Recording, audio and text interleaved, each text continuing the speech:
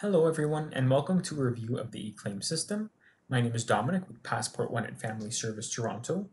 And just before we get started here, I do want to share that there is a, if you're watching this live, there is a question and answer period at the end of today's session.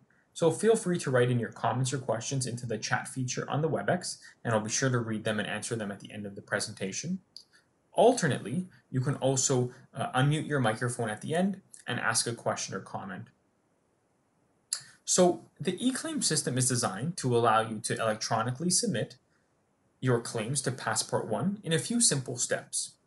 The first being you can download a PDF of your eClaim form. And then the second step is uploading that eClaim form or submitting that eClaim form with all required receipts and invoices to Passport One.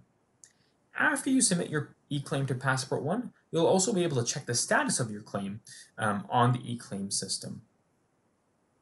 So in today's session, we're going to be going over everything from registering for the eClaim system all the way through to checking the status of your claim. The first session here is going to be uh, registering for the eClaim system. And you'll see here there's two ways to register. The first is, are you a passport client and managing your own funding? Or are you a person managing funds of a passport client, possibly a parent or a caregiver or a guardian? So in terms of today's session, all we're going over uh, and registering as a person managing funds of a passport client.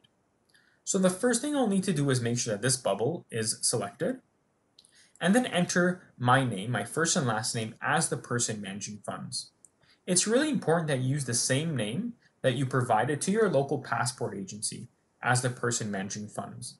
A common error we're seeing is that people are trying to use maybe a middle name here where they didn't provide a middle name to their passport agency and the system's not verifying that information. So again, it's really important that you use the same name that you provided to your local passport agency.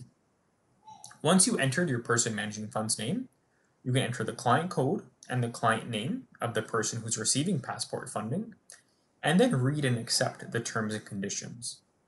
Once I've entered all of this information, I can click verify, and as long as that information matches what your local passport agency has, it'll bring you to the registration page. It'll ask you to enter your login email address, which will end up being your login name. And then create a password and uh, confirm your password for the eClaim system. Your password will need to be at least 8 characters long, contain at least one uppercase and one lowercase letter, one number, and one symbol or special character. So once I've entered my login email here and created and confirmed my password, I'll again make sure that I've accepted the terms and conditions and click register.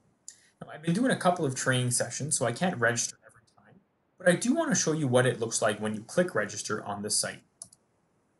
So once you click register after creating and confirming your uh, password, you'll get this message here, which says almost done, and that a verification email has been sent to whichever email address you provided on the system. It's really important here that you check your inbox, and if it's not in your inbox, uh, please check your junk and spam folders, because sometimes what we're noticing is that instead of going to your inbox, your email provider marks it as unsafe, even though it's completely safe, um, and throws it into your junk or your spam folder. So please check all of your folders, because the email was certainly sent, uh, it's just a matter of where that is on your system. In most cases, it'll end up in your regular inbox. And that email will look something like this. It'll thank you for registering with the eClaim system, and it'll ask you to activate and verify your account. So the first thing you can do is select here uh, to activate your account. If this isn't working for you, you can copy and paste this link into a browser, and it'll activate your account for you. So one or the other, whichever works best for you. And once you activate your account, it will bring you to this page here to your login page. And, and you can log in here using your email address and the password that you just created.